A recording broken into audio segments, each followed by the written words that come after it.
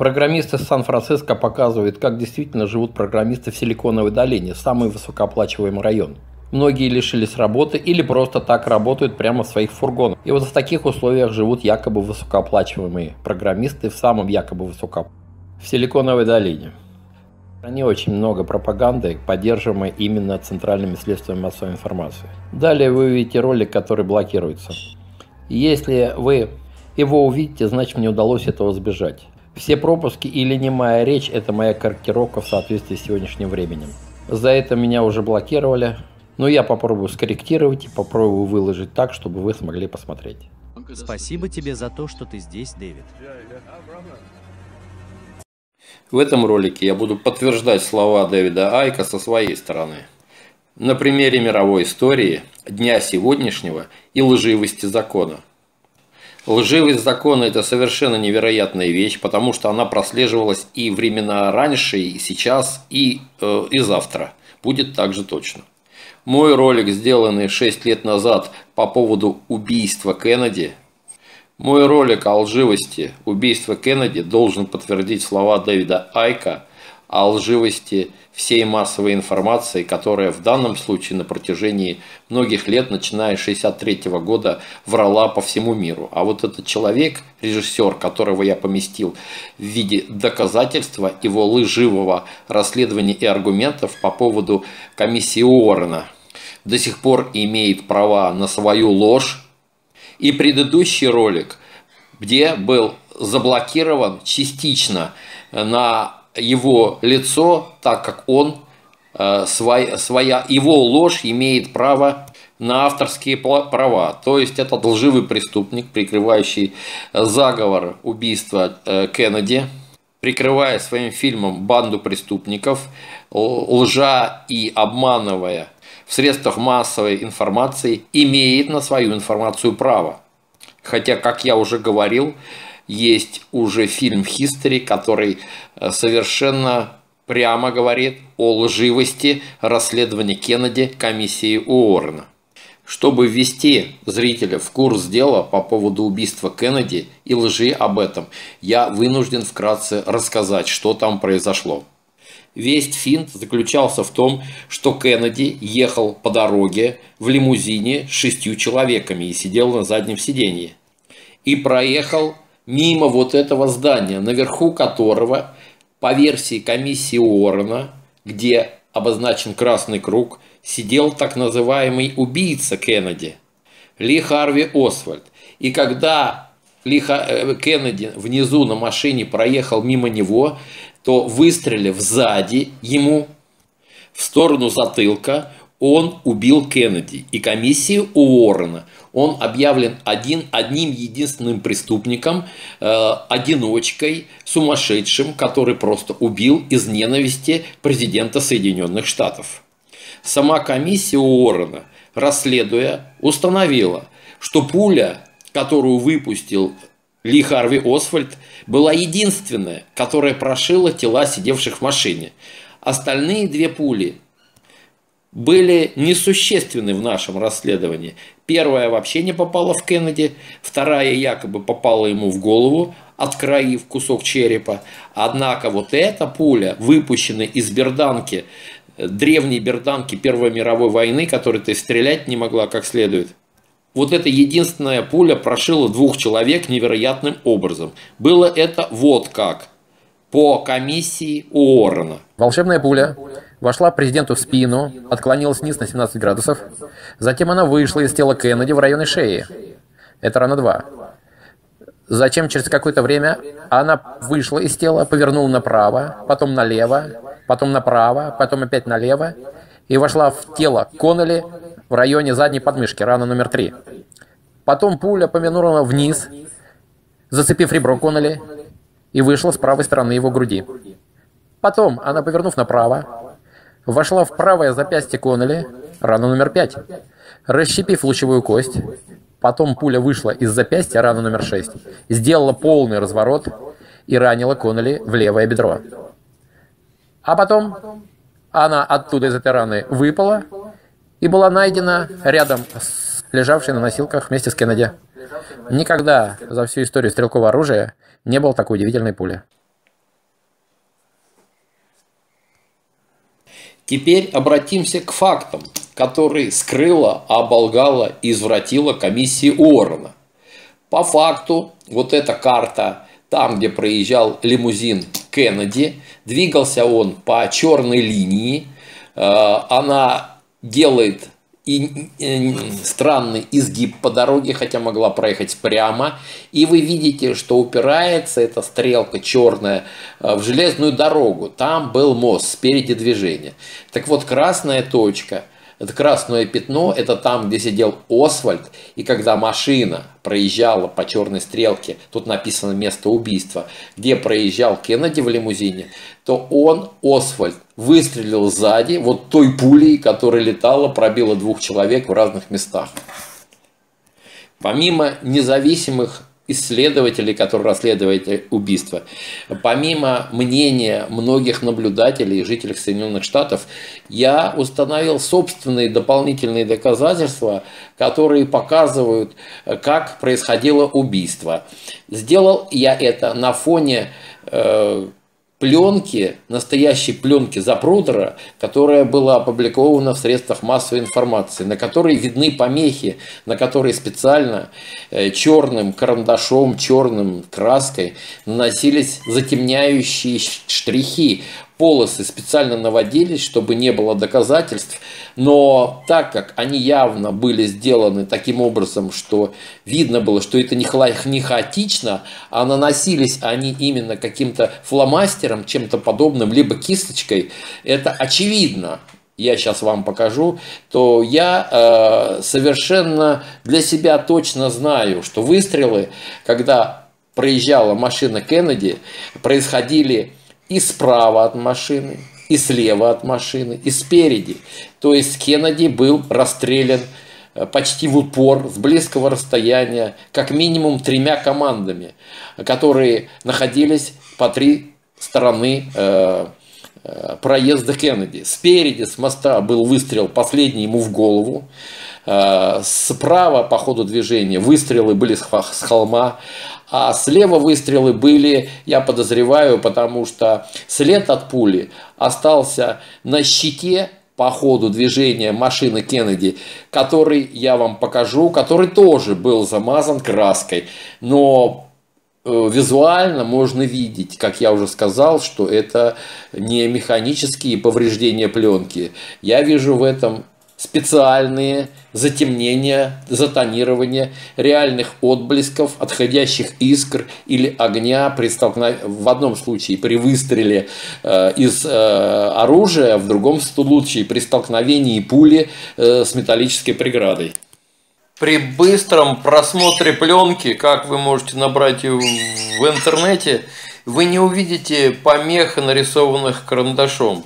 Но если вы зайдете в какой-нибудь видеоредактор и так замедлите съемку, э, и если еще найдется тот вариант, который имеет эти помехи, а не заделанные полностью материалы, то есть ближе к оригиналу, то вы увидите, что увидите, как и я, что справа э, карандашом был замазан какой-то выстрел – и оригинала у меня не сохранилось, остался только кусок увеличенный.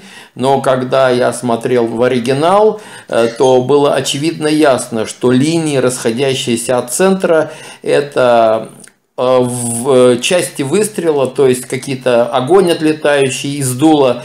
И поэтому я очевидно вижу, что из-за забора с правой стороны по ходу движения лимунина с Кеннеди был сделан выстрел, по крайней мере один. Слева по ходу лимузина был сделан еще как минимум один выстрел, навряд ли один, но одна пуля попала э, в дорожный знак. Он находится на двух столбах и типа, типа металлического э, удлиненного э, плаката на реальной съемке э, этого момента проезда лимузина около этого плаката не на каждом это можно найти. Поэтому я брал разные места, опубликованные в разных местах, соединял и смотрел. И увидел, что на плакате, на краю этого плаката зарисован штрих, большой жирный черный штрих. Это явно не может быть помехи, это больше похоже на карандаш.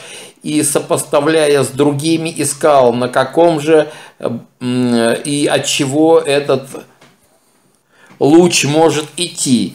И э, сопоставив эти картинки и убирая эти лучи затем, затемненные, на одном из э, видео я увидел э, как бы точку, выпуклую, выпуклость на металлическом этом знаке, что если предположить, что был выстрел и пуля попала в этот знак, то она сделала выпуклость, а от него полетели искры. И вот один из следов был замазан вот этой черной полосой. Для меня это очевидно, таких совпадений не бывает. И выстрел спереди в голову очевиден на самом, в самом центре пленки Запрудера, когда у президента происходит выстрел спереди по ходу движения. На самом-то деле подставной Освальд, который якобы был одиночкой, он в этот момент находится сзади Кеннеди. На видео Запрудера совершенно точно видно, что пуля летит спереди, э, вбивается его э, в череп и откалывает часть черепа, который отлетает назад. И по движению автомобиля, по строям крови и по влетающему предмету в голову совершенно очевидно, что выстрел этот производится спереди. Выстрел слева мог быть произведен э, вот в характерно сфотографии, на видео пленки Запрудера видно, что э, тут есть характерная группа с двумя охранниками по бокам, то есть их четыре, мужчина, женщина, и в, в центре человек, сутящийся как Стэтхим, либо он направляет стрелка, либо может и сам выстреливает, кстати, он в дальнейшем тоже затемнен и на него наложены помехи в некоторых из пленок но вся информация скрыта была из общественного пространства на много-много лет, оболгана, вот эти вот предполагаемые мной следы выстрелов были затушеваны, вырезаны некоторые кадры, это сто процентов, в ролике у меня там подробно и этот ролик э, Забрудера был э, с приложенной к ней лживой информацией опубликован для общественности, которая не имеет права голоса, конечно, на больших средствах массовой информации, и пропиарена эта история о убийце-одиночке Освальде э, на весь мир – и это установила Государственная комиссия по расследованию преступлений э, президента Соединенных Штатов во главе с Уорреном. Фактически э, ложь, распространяемая на весь мир, до сих пор, вот только в первый раз я увидел, что это все было вранье по общественному телевидению. Хотя для большинства думающих людей это было очевидно еще с 1963 года. Надо понимать, что это вранье такого глобального масштаба как нельзя лучше подчеркивает слова Давида Айка, которые он все время говорит, что вами управляют несколько человек и делают с вами все, что хотят. Этот разговор будет не прослушивание речи Дэвида Айка. Я думаю, есть большая часть слушателей Дэвида Айка, которые вообще не понимают, о чем он говорит. Часть его слушателей перебрасываются совершенно в другую тему, относят его к религии, к религиозным э, каким-то э, восприятиям. Сам Айк о религии говорит однозначно, что это оглупление человеческих масс. Есть еще одна часть слушателей, которые обвиняют Айка в том, что он ничего не делает, говорит все время одно и то же, и речи его похожи скорее на купленного человека западным капиталом который распространяет пустоту и пропаганду. Это неудивительно, ведь этот ролик, начало которого вы видели, я не могу опубликовать полностью, его два раза уже блокировали, и когда закончатся мои два бана в мае месяце, мне понадобится еще много сил, чтобы там все отредактировать так, как хочет YouTube, и может быть тогда я смогу его выложить. Что я еще заметил, самая ценная для меня информация, которую говорит Дэвид, Дэвид Айк, почему-то в основном не ценна для моих зрителей. Потому что на это именно самое ценное, по-моему, э, меньше всего просмотров. Я связываю это с тем, что общие фразы, которые, в общем-то, даже через дух на жизнь никак не влияют, а влияют как бы на отрыв этого, мира, этого мира, они вызывают большую, большее сочувствие, со, сопереживание. Видимо, люди вообще не верят, что в жизни можно что-то изменить. Ну, конечно, если вы все вместе. А каждый для, а по отдельности может пытаться. Для этого жизнь не создана каждого отдельного человека. Но что толку слушать Айка, если для большинства слушателей не доходит то, о чем он говорит? Для меня Дэвид Айк похож на героя книг Карлоса Кастанеды. По-моему, его звали Хуан воин духа, стремля... стремящийся познать сущность этого мира. Айк говорит о том, если у человека не будет собственного духа, то он остается рабом по жизни. В одном из роликов, когда он выходил из себя, он даже все население называл баранами. Когда население и часть из них, слушатели Дэвида Айка, слушают про то, что человек живет в рабстве, они почему-то сразу воспринимают это как, как оскорбление – как будто бы любой человек, осознав это, что он живет в рабстве и захочет стать свободнее, это крайне его напрягает, и человека, который предлагает ему стать свободнее, э, расценивает как своего врага. А ведь если он почерпнет из жизни, что до сих пор не знал, что не знал до того, как слушал Айка, если до него дойдут речи, то он станет свободней, и жизнь его будет лучше. Ведь если много людей станет свободными, и они будут общаться с друг с другом, они не будут друг друга обманывать и обворовывать. Ведь на Земле много богатств, много ресурсов, и жизнь у них у всех станет лучше. Да, это невозможно. Да, это нереально, но это же не значит, что предложение жить лучше расценивается как оскорбление. Чтобы этот человек, который, которому говорят, что ты живешь в рабстве, а вот что такое свободный дух – внутренний дух, чтобы ему это понять. Необходимо, я считаю, привести какие-то примеры духа, открыть глаза на мир. Если слова Айка однозначно ему это не открывают, раз столько много противоречий, они готовы слушать его часами, но совершенно не хотят слушать смысл его слов. В этом ролике я со своей стороны хочу приоткрыть другую часть мира материального, который, на мой взгляд, очень хорошо показывает, в каком мире находится большинство людей, которых держат в рабстве, в реальном рабстве, и что дух позволяет им из этого рабства пытаться выбираться. Неужели вы можете на раз-два стать свободными? Да может никто, вообще все никогда не станут свободными становится более свободен только тот, кто осознал и хочет своей личной свободы. Никогда не будет свободы для государства, для большой группы людей, для Родины, для государства. Это группости, это полный бред. И вот чтобы осознать, что э, стремление реального духа, о котором говорит Айк, дает некоторые крылья, дает, открывает глаза на мир, для этого я и создаю этот ролик. И покажу это вам на примерах конкретно визуальных невозможно сделать большую группу людей свободными. Свободен может быть сам по себе один единственный человек.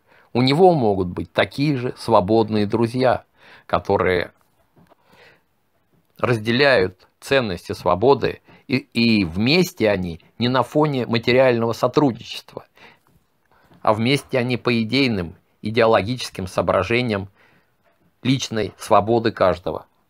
В большой человеческой группе всегда присутствует иерархия. Кто-то старший, уважаемый, кто-то козел отпущения. Такие группы не, свободны быть группами свободы. Такого не было никогда и никогда не будет. К свободе может стремиться каждый индивидуум, и никогда все вместе.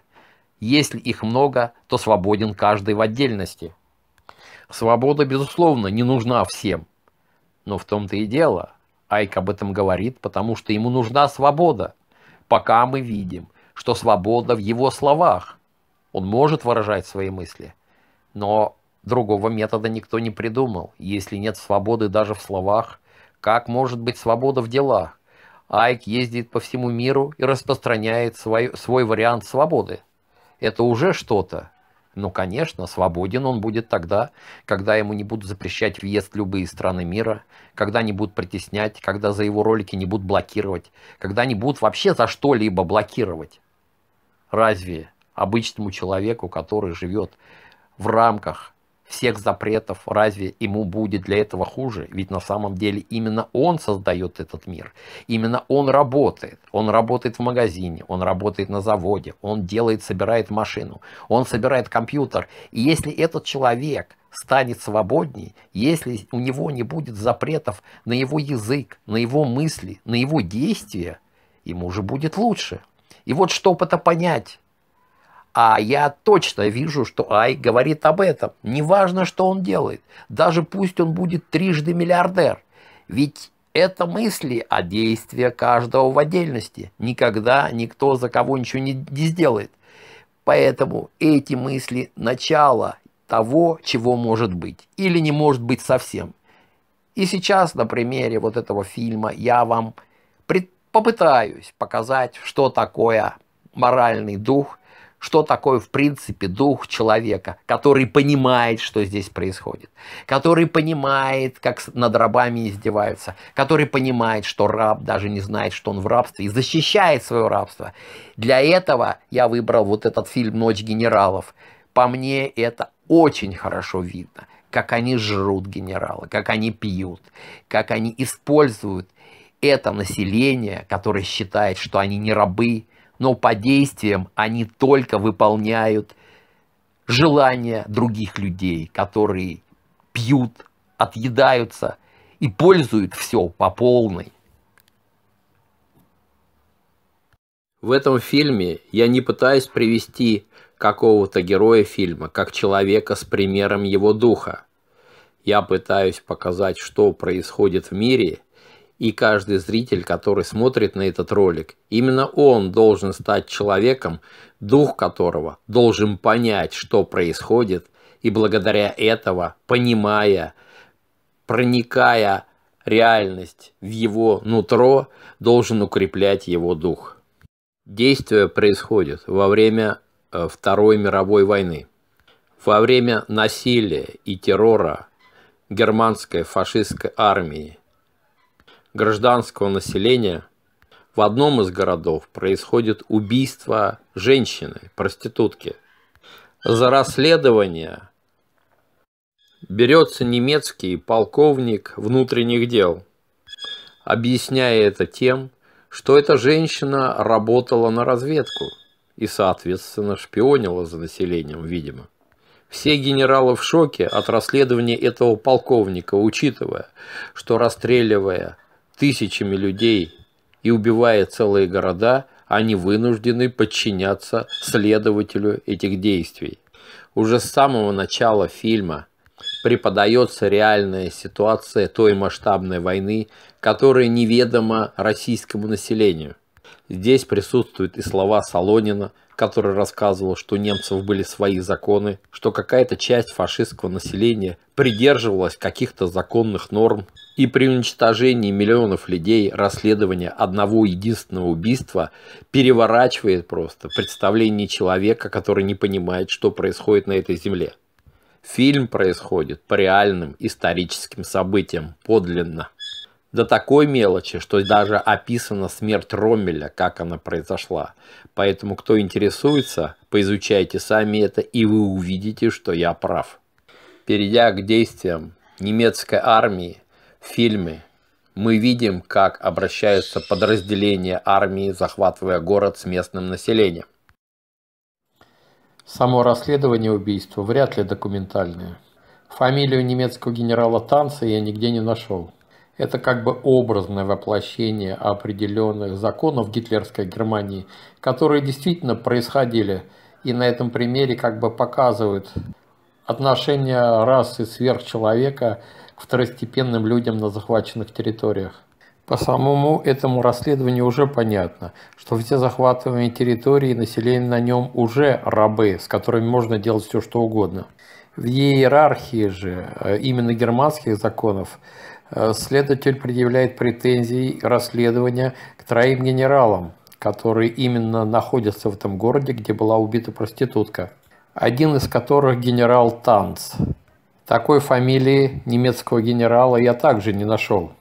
Но то, что это определенная имитация настоящей жизни немецких генералов на захваченной э, территории, я не сомневаюсь, так как достаточно изучил историю. На территории Южной Америки в Аргентине были подготовлены специальные города, а, построенные на деньги фашистской Германии, и большинство военных преступников были перевезены туда и до, э, до самой смерти продолжали запросто вести свою замечательную жизнь.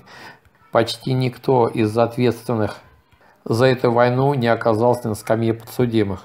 Переселение туда немцев способствовало э, Соединенные Штаты Америки, достаточно почтительное а, обращение с европейским населением, в частности правительство Виши во Франции, подтверждает целенаправленное создание Великой Германии и армии Великого Рейха для того, чтобы вести именно идеологическую войну.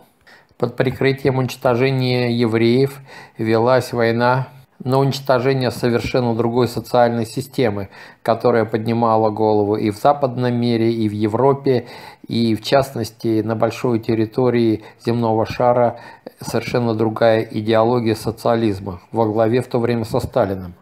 Несмотря на это, фильм показывает, что и на той территории, где именно жили союзники немцев, и в самой Германии – всей этой системой машиной, которая получала громадное состояние, пользовалась только небольшая группа лиц, поставленная для создания этой войны.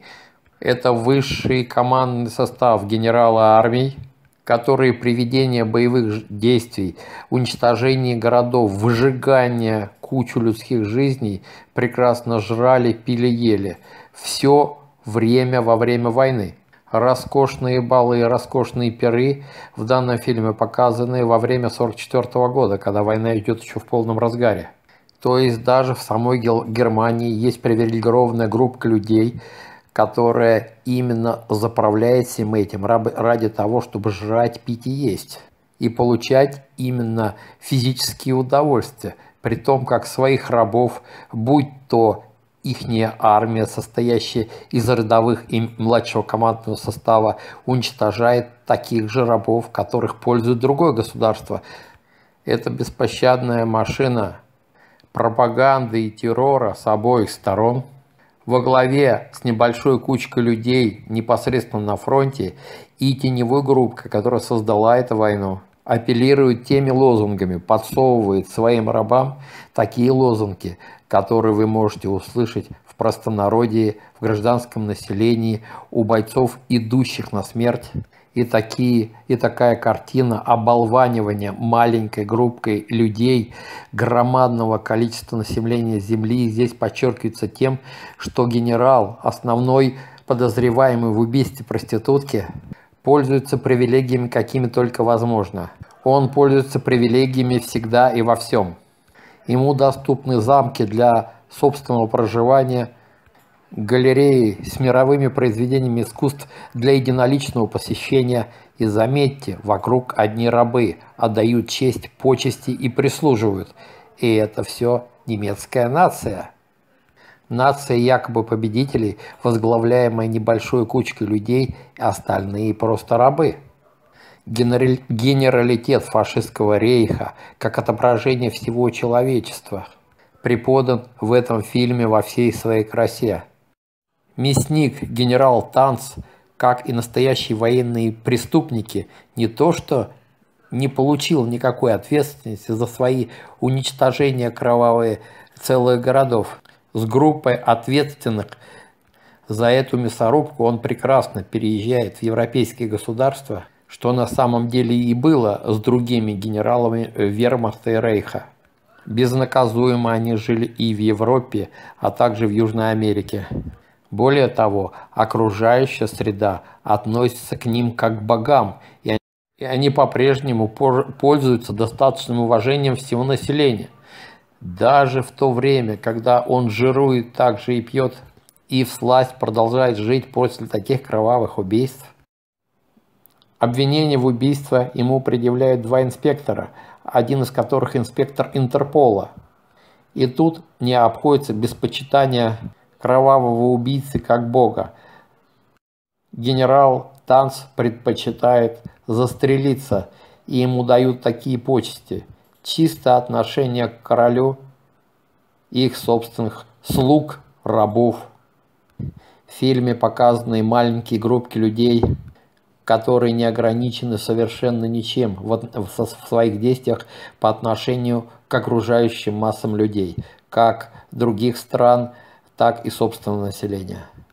Такая война всего лишь как индикатор, а фильм как показатель, как отражение настоящей войны показывает, как здесь устроено общество и что все остальное в обществе фактически находится в рабстве, кроме отдельных личностей, которые правят бал. Об этом, собственно, и говорит Дэвид Айк, и понимание этой войны, и понимание того, что война именно высветила взаимоотношения людей на этой земле – количество соотношения правящих и выполняющих. И что вы можете сделать с этим фактом? Давайте, предпринимайте что-нибудь кричащее, Швайк ничего не говорит. Если вам это знание не дает, вы если предпочитаете оставаться идиотом, ради Бога. Умный человек отличается тем, что он понимает, что он чего-то не, не знает и не выдумывает себе сказок. Наподобие демократического устройства – наподобие создания каких-то кумиров.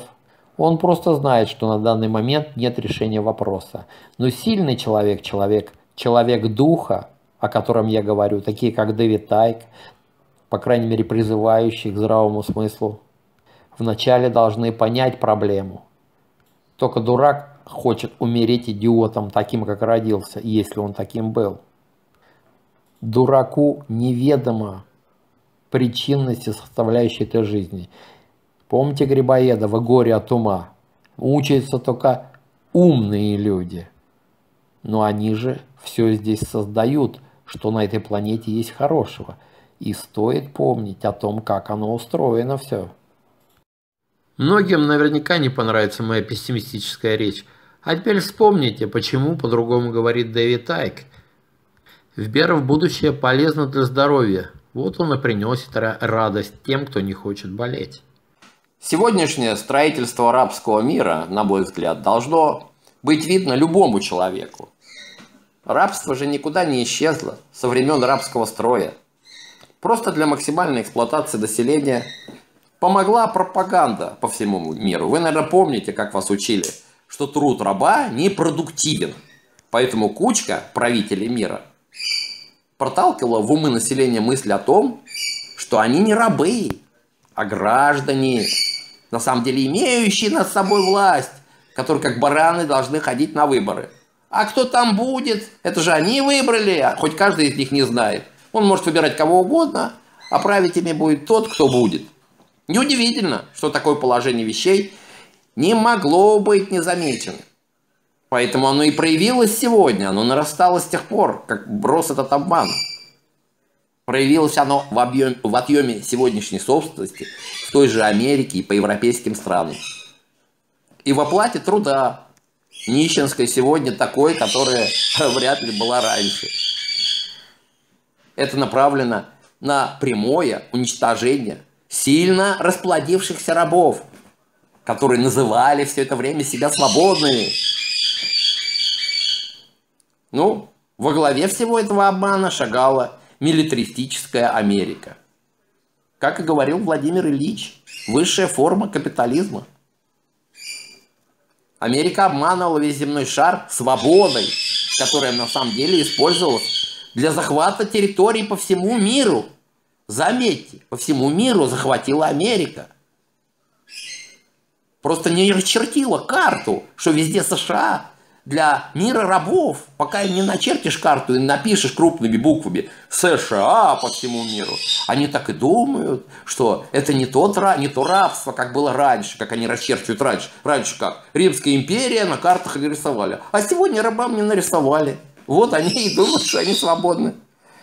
Вы можете видеть сами, если захотите, сотни американских военных баз – в любой точке земного шара, которые не принесли туда свободу. и борьбу с социализмом. На самом-то деле под прикрытием ведется борьба с социализмом, с социальностью. Аль, алчная морда капитализма, напялив на себя маску социализма, размещает сейчас по всему миру рекламу, что стало хуже жизнь, потому что сейчас социалисты захватывают все вокруг. То есть это все сотворили, эту нищету социалисты. Социалист Байден, европейские социалисты Европейского Союза так запустили мир, что бедный капитализм вынужден сопротивляться плохой жизни, которую несут социалисты, которые называются спокон веков левыми. А капиталисты называются правыми, напялив на себя маску левых, они же, так как все разграбили, и докатившись до такого состояния, может, вы и знаете, со всех миров, со всех дыр сыпятся пропагандисты, которые вам говорят о свободе, о защите населения, о том, что вы не рабы, о том, что э, весь мир посыпался, они за права, как правило, они с бабками бегут куда-нибудь, да, награбившись, но они все рассказывают. А теперь они пропагандируют, что это социализм довел весь мир до такой нищеты. А вот капиталисты, те, которые сегодня, вчера, позавчера грабили и захватывали – капиталисты, они вдруг стали социалистами. И весь земной шар, вот докатившись до такого состояния рабовладельчества на сегодняшний день, это рабовладельчество, решили рассказать сказку, что они это капиталисты и есть социалисты. И они стремились в хорошей жизни, а секрет в том, что капитализм был, оказывается, отодвинут на задний план. То есть э, Капитализм отодвинут, капиталисты задолбаны. И население должно поддаться на эту приманку. На волков, напялившихся на себя овечью шкуру. Вчера они грабили весь мир, сегодня они в овечьей шкуре.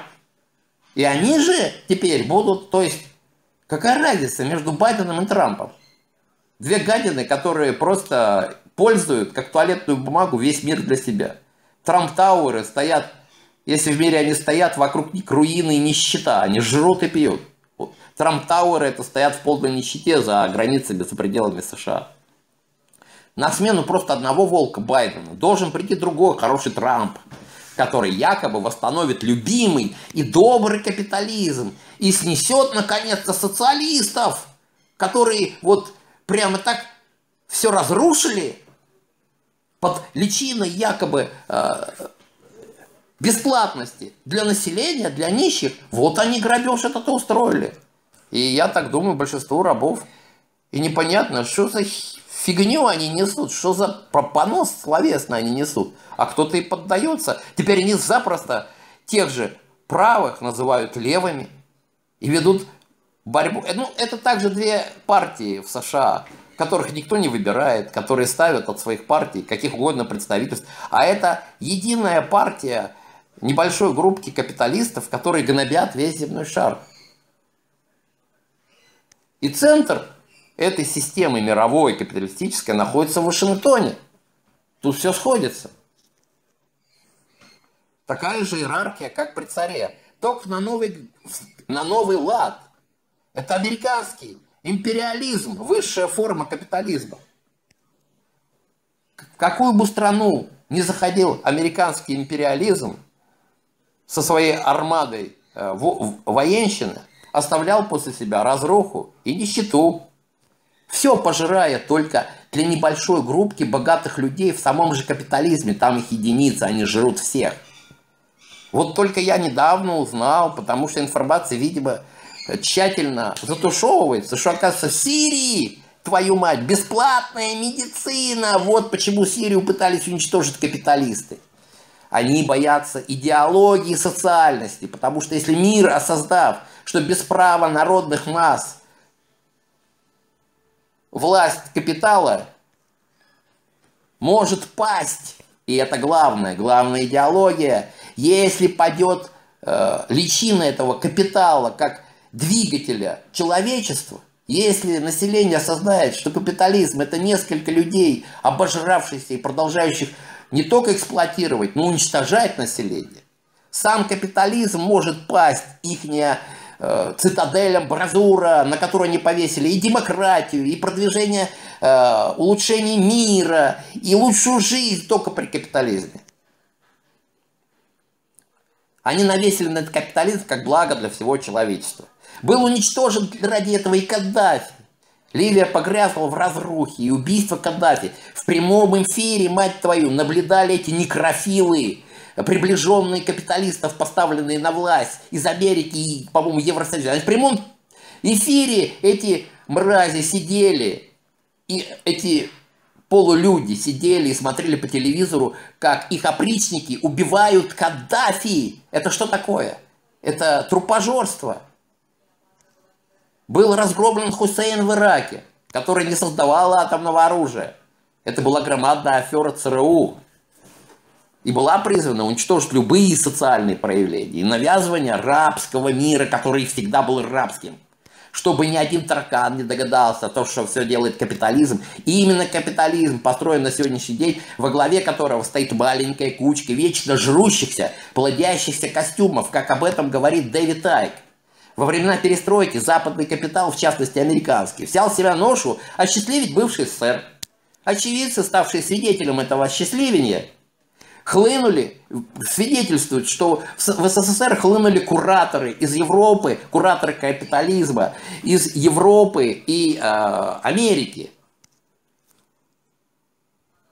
чтобы поставить социальный, социалистический мир. Социальность была, она была, квартиры давались кое-как. Хрущев строил дома для каждого. Какая бы ни была страна, но была социальность. Но единственная цель капитализма была уничтожить социальность и посадить бандитов на все сферы правления, уже существующие. Те нелегальные бандиты, которые были в социальной сфере, и легальные в коммунистических партиях, которые сформировали вокруг себя кормилку для самих себя. То есть они, э, капитализм сажал именно только уже имеющихся бандитов во власть, но легализовал бандитизм, фактически государственный бандитизм. Так же, как в Америке э, легализована коррупция, называется это лоббизм. Просто э, все проплаты бабками на незаконность действий и проталкивание кандидатур любых, хоть самых уродов, заносятся большие крупные деньги и это называется лоббизм, это легализация коррупции.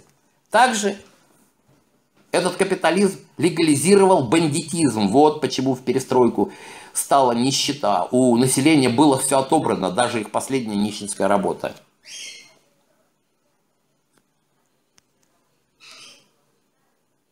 А вся власть была дана реальным бандитам. На тех людей, которые в тот момент на самом деле держалась власть в руках. И они пользовались этой без всякой Америки. А вся Америка, а Америка всего лишь легализовала бандитов только с одной целью, чтобы сливки с этих бандитов качать для себя, для своей системы капитализма, в которой во главе стоят несколько людей. Вся система американского капитализма состоит в том, чтобы легализовать бандитские группы, сделать их правителями на местах и как сюзерен править вассалами, получая выгоду с рабских территорий главными в которых будут уже не, утвердившие, не утвердившиеся бандиты нелегальные, а оставшие легальным. Прежде всего, эта цель была у США. Войти в страну, поставить бандитов у власти, те, которые были, были нелегальными, сделать их легальными и качать все ресурсы в свои страны. Вот почему при перестройке в СССР были требования, чтобы каждая уборщица знала английский язык, а у населения было отобрано все, что они имели даже в Москве на Пушкинской театр, туда приезжали французы, оккупировали театр, ни одного русского туда не пропускали. Туда въехали французы, и они праздновали победу над социализмом, жрали и пили. Их с русскими обращались как с неграми, их просто туда не подпускали. Если при социализме это был театр, э, можно сказать, народный, туда заходил каждый, то нет. Они там ресторан устроили, посиделки, жрали, пили. Если бы вы видели, как они обращались с русскими, они практически на входе плевали их в морду.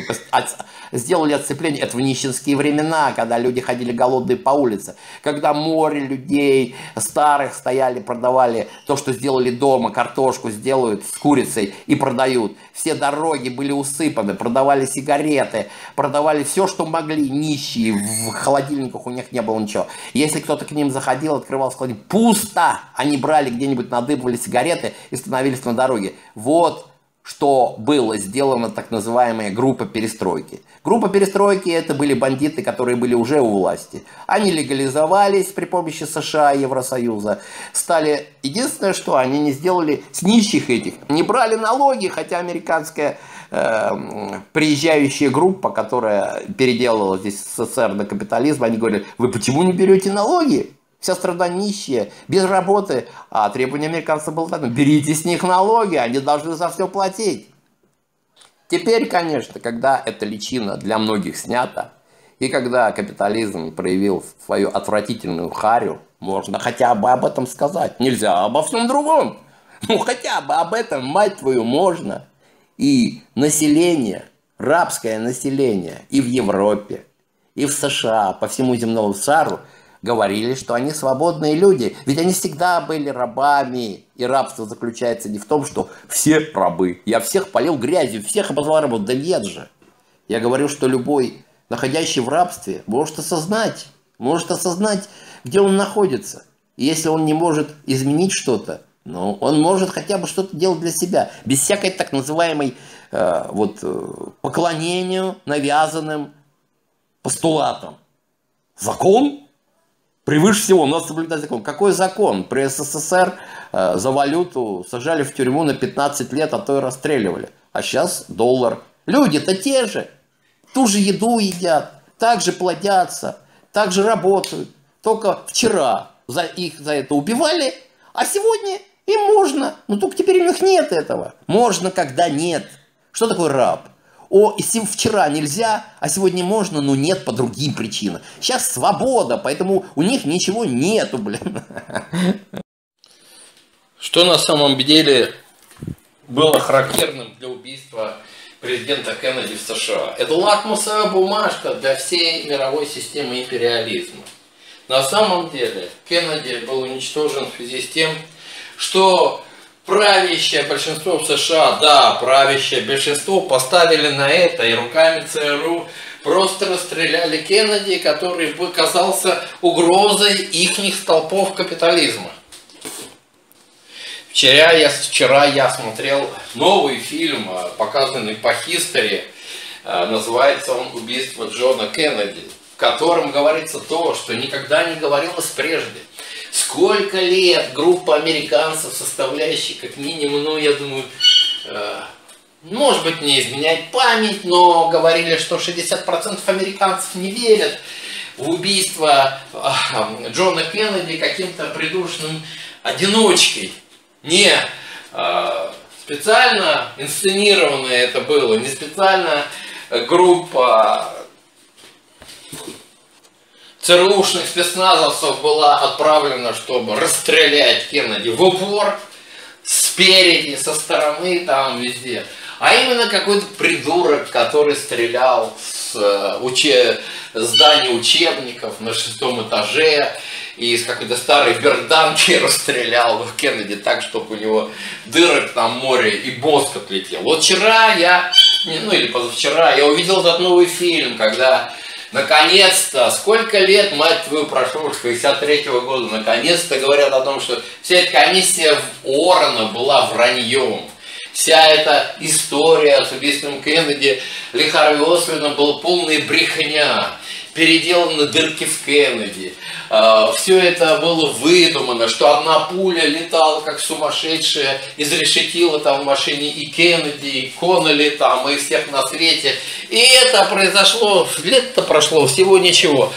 А население так и живет с этим, их просто пользуют как хотят. Я этот ролик сделал 6 лет, что ли, тому назад. Джонсон. Джонсон. Джонсон, пришедший власти, сразу после Кеннеди и возглавляющий этот заговор расстрела Кеннеди, такой овечка, сколько фильмов наделано, как он порядочный, приличный человек. А ведь он, когда ехал вслед за Кеннеди, перед тем, как Кеннеди начали расстреливать буквально за две минуты перед выездом на площадь, ставил себе наушники включил радио погромче. Он знал, в каком месте и как будут расстреливать Кеннеди. И об этом население, конечно, не знает. Демократическое население Соединенных Штатов строит замечательный капитализм счастья, американскую мечту для всего американского народа, а правительство его распространяет это счастье на весь мир. Так вот, в этом фильме сейчас рассекречены. Твою мать, народ живет масса на всем этом шаре, и можно засекречено, когда рассекречивается. И нельзя, потому что они не могут знать о своем счастье. Всю жизнь они не знают о своем счастье, потому что если они узнают, они, станет, э, они станут несчастными. И оказывается, есть целая группа лиц, и оказывается это, что на самом-то деле война против Кеннеди, убийство, группкой заговорщиков, которые составляют люди, которые в руках которых действительно находится власть, сажают любого президента и продолжают всех доить, как коров, выдаивая из них молоко. И вот этим группам как раз не по нутру была социальность, распространяющаяся на Кубу. Это социальность, потому что рядом с собой терпеть социальность – это угроза самому условию создания капитализма, когда любой раб должен думать, что он свободный человек, работать как корова, с которой и как баран, с которого снимают шерсть, выдают молоко, и думать, что именно это счастье есть на земле. И никакой социальности, ну конечно же, СССР своим самым понятием несет социальность. Поэтому Кеннеди, который сдал перед напором на Кубу, он должен быть уничтожен. Вот в чем смысл был тогда убийства Кеннеди. Что Кеннеди нужно было уничтожить как угрозу устоявшемуся капитализму. Такая жирная харя капитала, когда всех поносят и рассказывают сказки всем рабам на земле, вдруг это может стать угрозой, так как Кеннеди отступил перед кубинской революцией. Ну, это говорит фильм. Я-то об этом знал всегда. А вот фильм показывает это. Прямо сейчас публикуется. А знаете, почему-то сейчас можно смотреть? Да потому что те, которые сейчас сидят, они прекрасно знают, что опять же эти же рабы по всему миру никак не соединяют ту группу, которая убила Кеннеди в Соединенных Штатах, держащая власть, она также существует и сейчас. И она же публикует эти фильмы. Она уверена, что мозг раба не проведет линию от сегодняшнего дня к тому, что было-то в 63-м году. Сейчас же другая жизнь, другие люди. Никто за это сейчас не ответственен. Все прошло. И так же и есть. Так тысячелетиями. Из поколения в поколение рабы думают, что уже кончилось. Хотя это никогда никуда не кончалось. А Америка страна все равно, как ни говори, стремящаяся в будущее – кто создал компьютеры, кто стоил прекрасные автомобили, кто создан кто создал много технологий, все равно это было создано под руководством вот этих единиц, таких как Маск, Рокфеллер, Ротшильд, ну, те, которых бабки на самом деле есть. Ну, Маск, конечно, ставленник, там, понятное дело, но фигуры истинные, они прячутся, они никогда не показываются наружу. Все равно созданы технологии. Тут, как ни крути, никакого социализма, коммунизма, капитализма, ничего нет этого для людей, которые понимают, что здесь происходит. И коммунист может э, родить о том, чтобы вокруг него росли цветы, и капитализм. Но группа капиталистов не может, так же, как Иосиф Виссарионович, окружал себя вокруг приближенными и создавая э, уничтожение э, своих подчиненных, рабов, масс вот этих вот, больших масс населения, он заставлял своих подчиненных подписывать бумажки на расстрелы, на наступление, на все. Тем самым он повязывал всех. Его нельзя было арестовать Сталина, его нельзя было судить, потому что вокруг него все работали на него, и они подписывали это все. Если бы они захотели что-то опубликовать публично, они первые стали бы преступниками. Соединенные Штаты переняли. Это же э, чисто человеческий мировой опыт. Это не теория социализма или капитализма, как думают население. Вот назови это строй, и все пойдет по-другому. Назови одно другим, и все пойдет по-другому. Нет, жизнь никогда не начиналась, она никогда не прекращается. Все системы истинных ценностей взаимоотношений людей всегда остаются одинаковыми. Так вот, капитал повязывает себя всем. Те, кто держит власть в Америке, а, ставят сенат, президентов и повязанные теми а, жуткими убийствами по всему земному шару, они повязаны, потому что они подписывают ЦРУ эти законы, правила о наступлении, о бомбардировках, о уничтожении вьетнамского населения, о уничтожении еще какого-то населения, когда ковровые бомбардировки просто устраивали геноцид во многих местах земного шара. Поэтому это та же система. Чем Сталин пользовался во время СССР, США тем же самым, в Евросоюз тем же самым пользуется. Сажает группку э, своих рабов, в Евросоюз, сажает в Сенат и манипулирует ими. Они все подписывают, соответственно, они не могут выдать. Они купаются в деньгах, они сидят в креслах, подписывают сраные бумажки. Знаете, мне нравится, как не говори, а сказано точно. Выковыривают из носа и размазывают по своим бумажкам.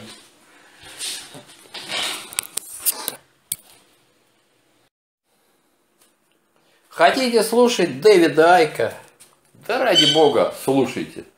Если у меня будет настроение, желание и возможность, если не будет счастливый капитализм в образе YouTube, блокировать каждое слово, что он там разрешит, неизвестно. Почему бы ему не посадить меня в тюрьму, например? Не может, да, сволочь? Потому что здесь нельзя, а в Америке наверняка там то ли можно, то ли нельзя. Неважно, что, может быть, и не сажают э, в Америке, но ведь посадят. Ведь э, то, что сейчас было два года, все якобы по своим соображениям сидели по квартирам, не могли спокойно ходить по улице, такого же раньше тоже не было. А начиналось все с ошейников на каждом человеке. Когда в машине вы одеваете пристегной ремень, когда это началось? Ведь странно, да? Когда-то люди ездили без ошейников в машине, мать твою. Но рабам этого не понять. Извините, кто не дошел до этого. Так элементарно. Садишься в машину и пристегиваешь себе ошейник.